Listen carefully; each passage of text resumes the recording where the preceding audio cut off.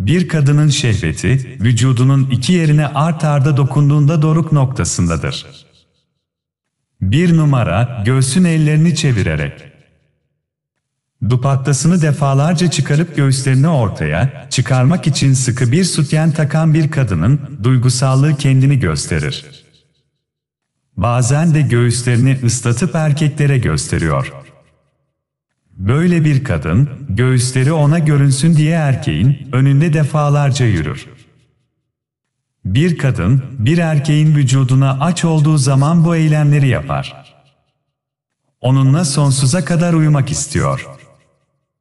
2 numaralı, vajina bölgesine dokunuyor. Bir kadının şehveti bu dönemde zirvededir. Vajinasına tekrar tekrar dokunduğunda.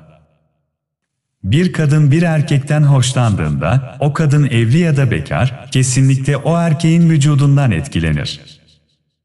Böyle bir kadın hoşlandığı erkeği, görünce elini onun önünde saçlarından geçirir. Göğüslerine dokunur ve erkek kendisine, dönünce onun tuzağına düşer. Arkadaşlar bu videoyu beğendiyseniz arkadaşlarınızla paylaşın. Ve bizimle iletişimde kalmak için bu kanala abone olun. İzlediğiniz için teşekkürler.